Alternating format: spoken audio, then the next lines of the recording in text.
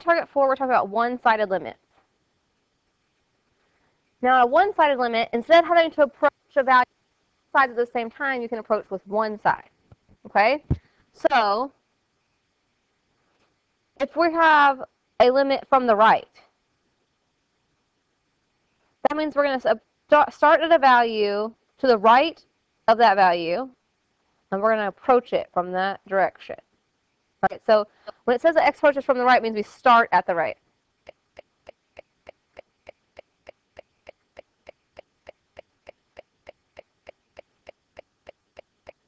If we want to do a limit from the left, that says x approaches from the left, that means we want to start from the left and approach that value.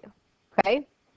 So, for a one-sided limit, you have a little bit new notation. It says the limit as x approaches c, a plus sign means from the right, a minus sign means from the left. Okay? Again, from the right means you start at values greater than that. So you start at the right. And as approaches from the left, you start at the left of that value. Okay? Now, when the limit from the left is not equal to the limit from the right, the two-sided limit does not exist. We've seen that already in graphs. I can approach from one side and from the other side, and they don't meet up, and so we have a limit that does, that does not exist. So that still happens. But maybe from one side, we can actually get a limit. Okay? all of the properties, theorems, techniques that apply to regular limits apply to one-sided limits. All right, so that means you can look at a graph still. You can make a table still. You can use direct substitution or algebra still.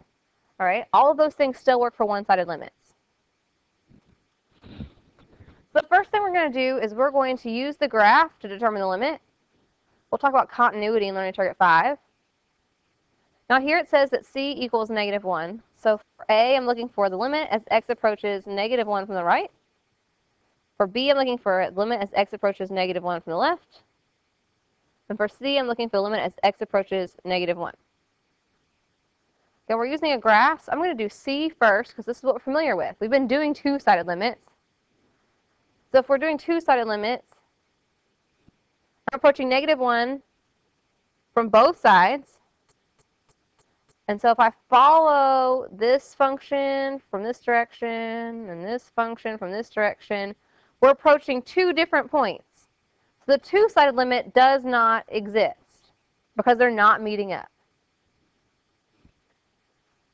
So if we're looking at a one-sided limit, though, those can very easily exist even though the two-sided one does not.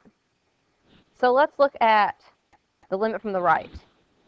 So as x approaches negative 1 from the right. That means I start to the right of negative 1 and I approach negative 1.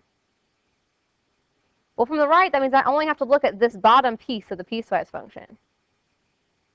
And it looks like I approach this point right there, which is at negative 1, 0.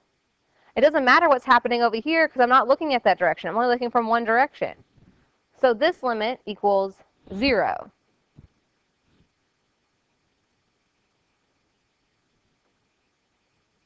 Now if I'm approaching x from the left, I start at values to the left of negative 1. So that means I'm on this piece of the piecewise, and I'm following that.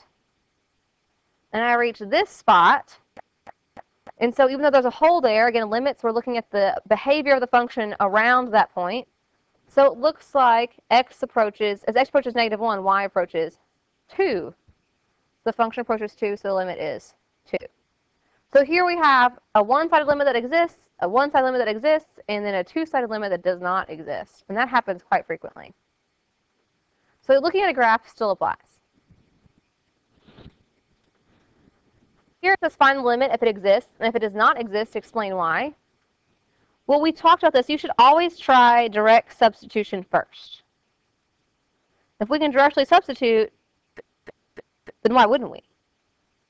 So this is what we're looking for, the limit as x approaches negative 3 from the left. So if I substitute negative 3 into my function,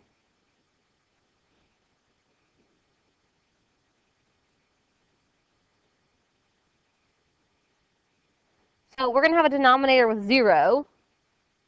we know we can't have that. So direct substitution doesn't doesn't work here. So that's bad news. Maybe you could try algebraic methods then. So do I need to use a conjugate or do I need to factor or something like that? So here I could try to use a radical. And I could multiply the numerator and denominator by the square root of x squared minus 9. So when I do that, I get x times the square root of x squared minus 9. In the denominator, I get x squared minus 9. And so by doing so, if I put negative 3 in now,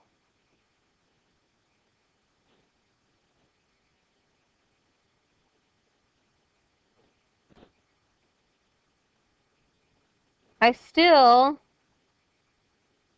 get 0 in the denominator. So that didn't help. So that didn't work, and that didn't work. So then maybe we can just look at a graph. Right? It's kind of complicated. So we can look at a graph or a table or both.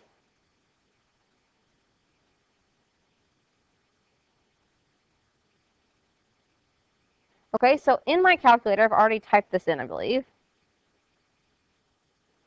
I've got x divided by the square root of x squared minus 9. I can look at a graph of that, and it looks like it stops, but it doesn't. This actually continues. This actually continues. If you weren't sure, though, because you can't really see much on this graph, you can always use a table. So use a table. I still have it on the ask function we talked about from learning target 2. So now I can put in values that get closer and closer to negative 3 from the left. So I was making a table of values. We're getting closer and closer to negative 3 from the left. That means I need to start with values greater than negative 3. So maybe negative 3.1. Negative 3.01.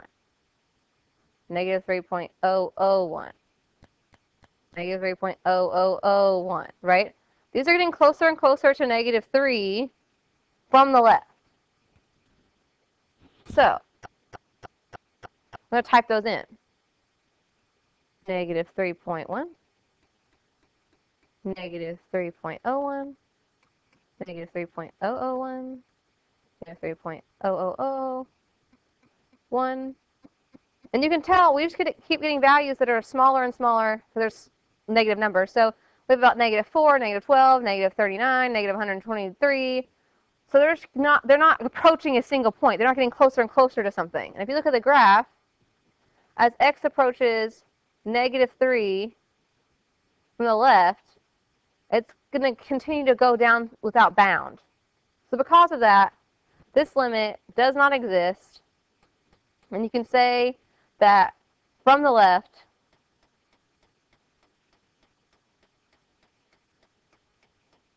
the function decreases without bound. It just keeps going, right? It doesn't stop. It doesn't approach a point. Okay?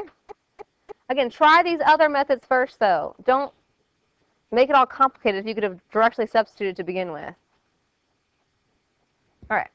One more example. Find the limit. If it does not exist, explain why. So here we have a piecewise. We don't have to graph it, really.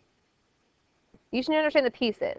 Here it says, for all x's less than 2, here we have for all x's greater than or equal to 2. That's going to be very important. Okay? So let's do the first one. The limit as x approaches 2 from the right. Well, what values are to the right of 2? What values are greater than 2? Well, 3, 4, 5, 6. So for this limit, we're using the second part of the function because it says for values greater than or equal to 2. All right? So I am looking at those values from coming from the right. So I'm going to start directly substitute first and see what happens. I have to directly substitute into the right piece. So I have negative 2 squared plus 4 times 2 minus 2. Remember, if this negative up here is not in parentheses, then don't put it in parentheses. It's not supposed to be done that way. So I've got negative 4 plus 8 minus 2 Negative 4 plus 8 is 4, and 4 minus 2 is 2. So the limit as x approaches 2 from the right is 2. If you want to confirm that, we could graph it. got negative x squared plus 4x minus 2. want to graph that.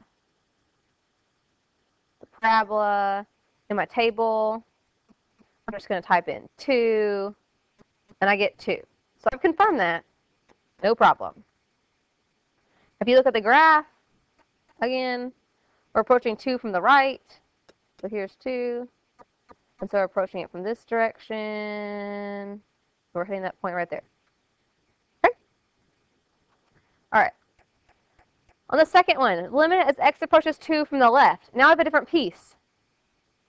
Values that are less than 2, or to the left of 2, are in the top part of this piecewise. So I can try to directly substitute, but I have to use a different piece of the function.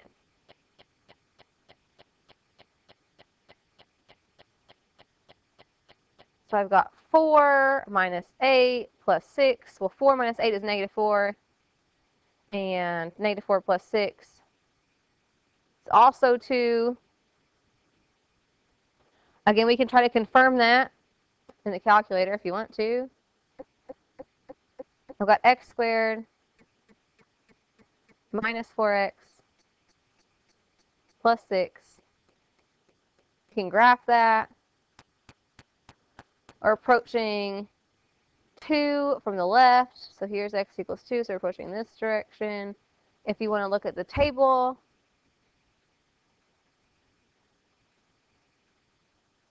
it says 2, 2. That's not from last time. That's already recalculated it for me. Okay? Now, that means the limit as x approaches 2, the only place these are both parabolas, all right? There's no gaps or holes. So the only place that this could not exist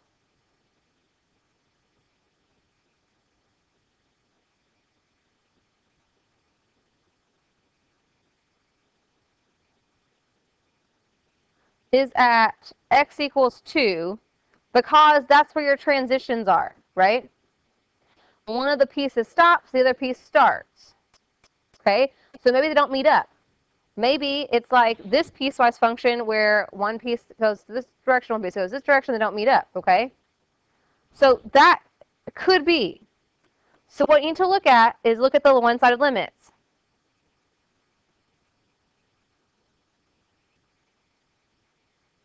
Are they the same? If so, that's your limit. So here, from the right it approaches 2, from the left it approaches 2, so that means as x approaches 2, the limit is 2. If, let's say, this one had been negative 7, it's not, but let's say this one was. Well, if from the right it approached 2, from the left it approached negative 7, then it doesn't approach the same place. So this limit would have not existed. So to be careful about those transition pieces. Okay? If the one-sided limits both agree, then the limit is, should be the same. If they don't agree, then the limit does not exist for two-sided. All right? All right, so again, on the rest of your learning target 4 assignment, you're going to look at a graph, but you should always try direct substitution first, or then try an algebraic method.